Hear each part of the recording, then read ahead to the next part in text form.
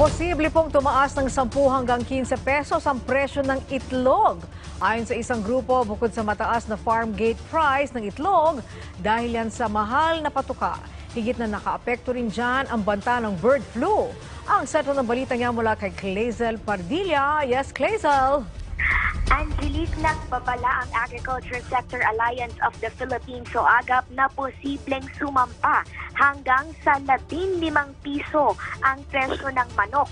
Ayon kay Nicanor Briones, ngayon pa nga lang ay tumaas na sa 6 na piso ang farm gate price ng itlog dahil sa mahal ng patuka. Marami na raw ang nagbawa sa pag-aalaga ng paitloging manok dahil hindi na kinakaya yung puhunan. Kaya't manipis na ang supply ng itlog. Ang problema, Angelique, tinatamaan pa ng avian influenza o bird flu. So kung magtutuloy-tuloy yan, abay sigurado baka ang aming farm gate price abuti ng ah, 8 to 10 pesos. Kaya may possibility na ang ating ah, retail price ng itlog paabuti ng 12 to 15 pesos per, ah, per egg. Malaki ang magiging kakulangan ng itlog kung hindi maipisil ang pagkalat ng flu. Samantala, Angelique, sumampa na sa 157 ang kumpirmadong kaso ng bird flu sa bansa. Ayon sa Bureau of Animal Industry, karamihan sa mga tinamaan ay nag-aalaga ng itik at paitluging manok sa Central Luzon na isa sa mga major supplier ng produktong manok. Sa ngayon ay may labindalawa pang aktibong kaso ng bird flu. Narito ang pahayag ni Dr. Rildin Morales ng Bureau of Animal Industry.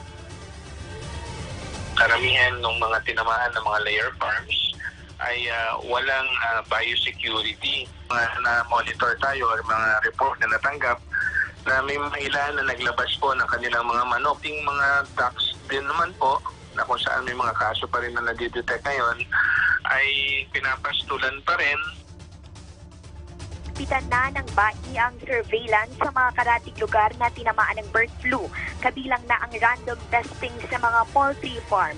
Nakiusap naman si Morales na ipagbigay alam sa mga otoridad sakaling maobserbahan ang hindi pangkaraniwan na mortality o pagkamatay ng manok. Ayon sa BAI, may 100 pesos na indemnification fee ang maapektuhan ng bird flu. Pero giit ng agap Angelique, dapat gawin niya na 150 pesos para hindi na magtago, magpuslit o magpatuloy na kumalat yung bird flu.